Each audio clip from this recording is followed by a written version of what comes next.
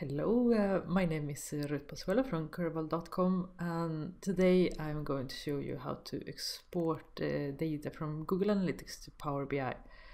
Um, if you're not familiar with Power BI is, it's basically like a supercharged version of Excel. You can do exactly the same things you can do in Excel and much, much more. Um, it is very easy, it takes just a few steps, so let's jump on it and go through them. So the first thing we need to do is to get the connection between Google Analytics and Power BI. And to do that, we go to Get Data, click on More, and either we scroll here, you will see it, or you can also search. We select Google Analytics, and then we click on Sign In.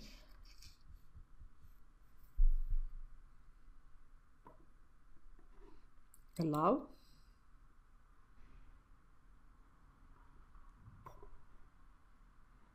and then I'm already signed in so um, just click on connect.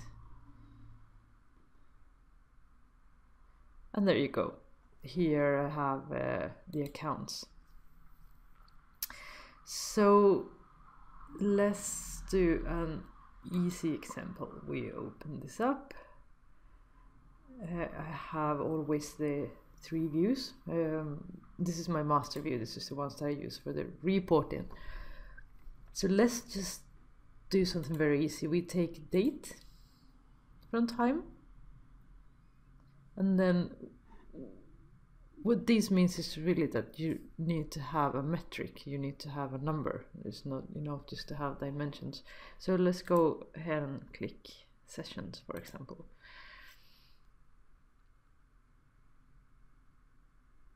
So, now we have date and sessions.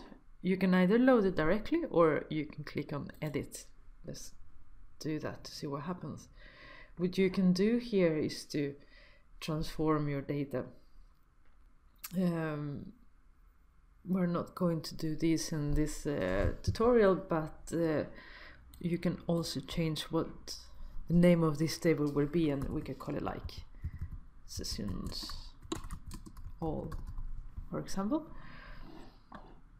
When we have everything, we just click here, close and apply, and the data will load. It takes a few seconds.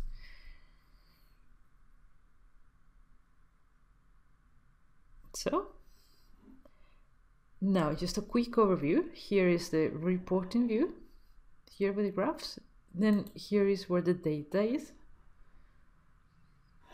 you can see here the columns. And here is where you can build relationships between tables. Now we have only one table so there's nothing to do there. But for these we could just put it in there. And then we put sessions also. And then you just create the graph. We can say no we wanted to have it as a table. Or we wanted to have it as a chart as a line. And then you choose by year. That's fine. So so it's very easy isn't it? Um, I hope you enjoy the video. If you want to go through these steps like on your own terms and time uh, I have a blog post that explains it so you can just go through it step by step if you want too fast on the video. Um, I have a link here on the YouTube comment so just check it out and go there if you need it.